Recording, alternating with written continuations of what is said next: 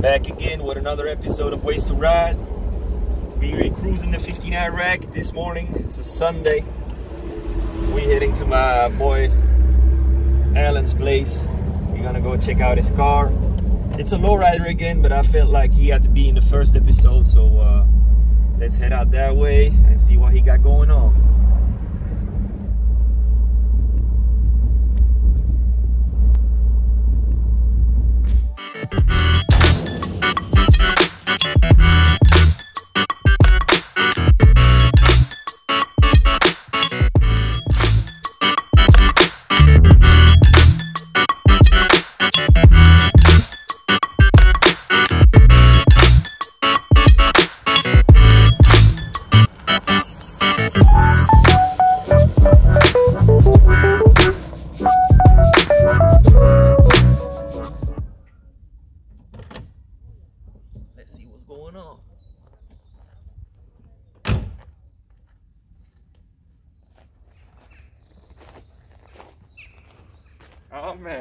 Already giving it some shine, huh?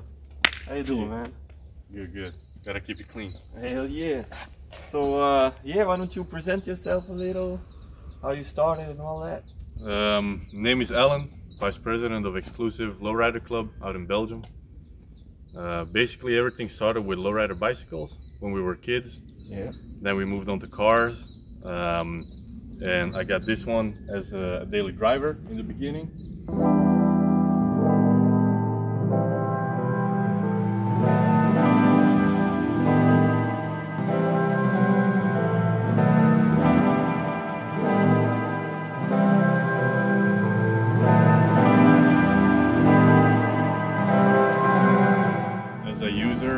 Getting bad after a couple of years. She really got like in worse condition, and um, had to put her to the side. Got another daily, and started building this one, making her into a clean lowrider.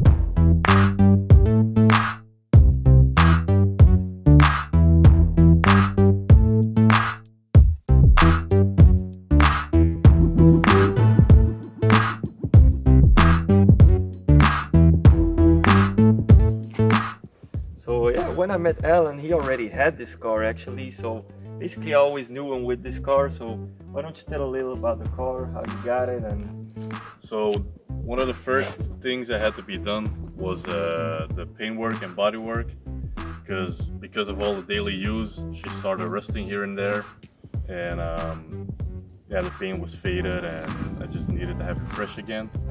So the color that was put on is called bluish purple, and yeah, it is nor blue nor purple. um, the pinstripes I did myself. So basically, I just did um, an original style double double line with some details to give it an extra touch, but not have uh, an overload of pinstripes on the car. And when you look at the car from a distance, every panel has a, a frame around it that I did with the pinstripes with feather uh, feather type shapes. Other than that, exterior wise, it has some custom touches like the TV antennas, the original uh, opera lights that work, the um, the curb feelers up front to protect the wheels. And talking about wheels, I had to put on some Tru Classics 14 inch because the car is too big and heavy for 13s. So we went with the 14 Tru Classics, custom pinstripe center pads.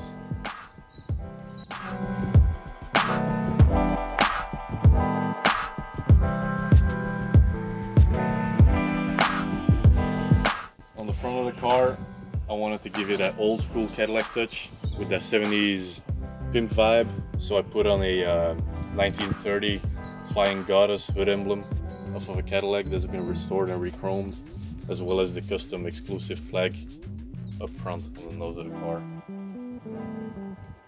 Originally, the car had all uh, black bumper impact strips, which was mandatory back in the day, but they look ugly.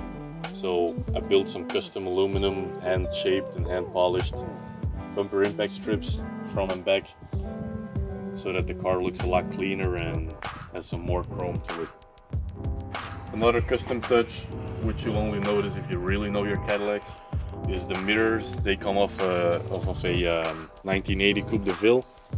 So they're the power assisted remote control mirrors with the uh, illuminated temperature gauge outside.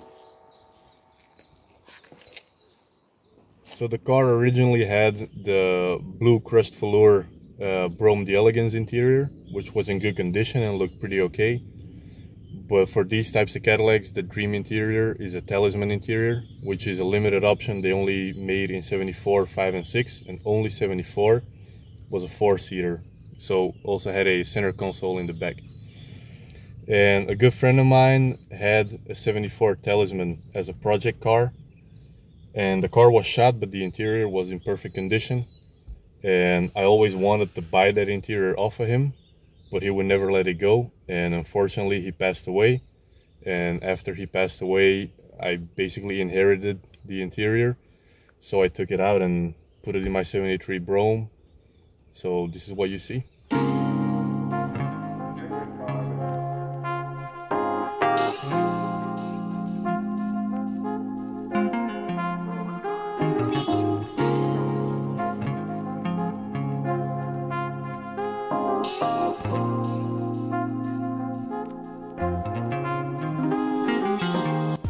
So since this originally was a, uh, a Brougham d'Elegance, it had all the options available, like cruise control, automatic climate control, um, power antenna, rear defog, remote control mirrors, automatic headlights and, and high beams. Some of the original interior parts I reupholstered in the blue velour as well to make it match with the rest of the interior because I didn't like the the original plastic parts. The switch plate was added.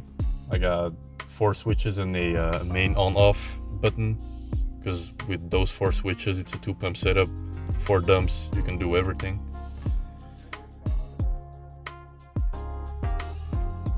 The color bar I also had to put in so when you're listening to the music you can see the, the sound of the music through the color bar and for night cruising, I put in some blue uh, original neon lights under the dash to give that extra extra touch.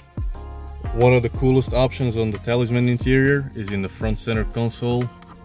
There's a writing pad illuminated with two Cadillac pins.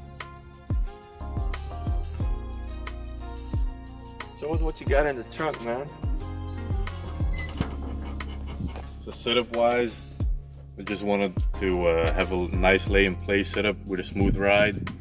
So I put in a uh, two pump setup with four dumps, uh, four accumulators for a smooth ride, and 36 volts, which is more than enough to just lay and play with the car as it's a heavy one.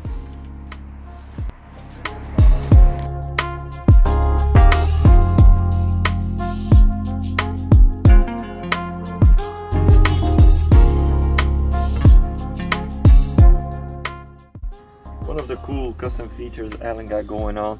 Is instead of a switch panel he has this Nintendo game controller that you can just plug in. And you can just play with the car. One of the good memories I got about this car man uh, we went a lot of places with this yeah we went a lot of places. Well besides using it as a daily then I just rolled it everywhere because it was just a daily driver but um, after it, it uh, I turned it into a lowrider, we went to Paris, Amsterdam, all around Belgium. I basically drive it as a daily driver, just not every day. That's about it. Other than that, you get in, you fire it up, and you roll because she'll go everywhere every single time. Never miss a beat. It's a Cadillac, yeah. man. I mean, why don't we take it for a spin, man? All right, let's go. Let's go, man.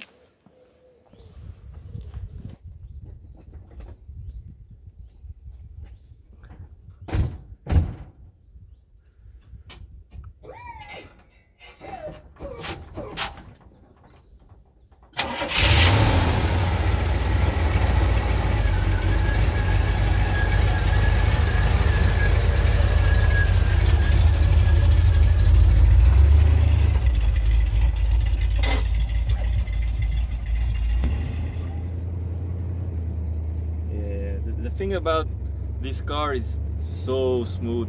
I mean, when people think about lowriders, they think it's bouncy and you're all over the place. But with this one, man, it's it's crazy, right? Yeah, if you put the back on accumulators, that gives you like 70% of the comfort that you need. Up front, I usually keep the accumulators closed, so you still have that bouncy movement. Yeah, that if you get the right spring rate, yeah, then it just rolls smooth. Yeah. And if you really want like an original or, or even better than original ride, you just put on the accumulators up front as well, and you're driving on the carpet the way it should be because it's a Cadillac. Hell yeah. Yeah, I mean, it drives so good that sometimes you forget you in a low low, man. Yeah. And then you hit the switch. Oh, right, I got switches. That's right.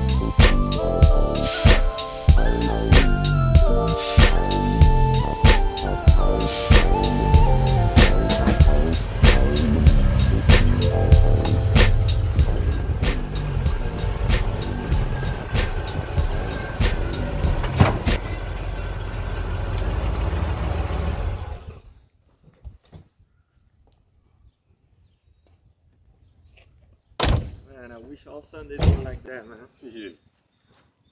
All right, man. Thanks for having us. No problem. It was good, man. Hope you enjoyed it too. Yes, sir. All right, guys. So that was it for this episode. Hope you guys come back for more because we will be doing more footage and different cars too. So yeah, thanks for watching. Like, subscribe, share, do what you gotta do, and I'll see you next time.